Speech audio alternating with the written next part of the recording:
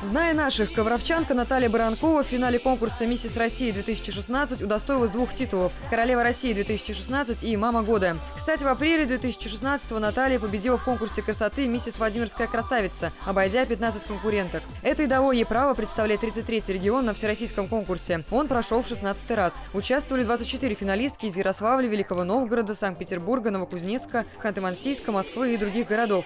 Нашей землячке 36 лет, 16 из которых она живет в счастливом браке. Красавица подарила мужу пятерых детей. Наталья увлекается водными, горными и беговыми лыжами, бегом на длинные дистанции. Работает специалистом по связям с общественностью. Баранкова считает, что красота – это дар, а задача женщины – дарить ее миру.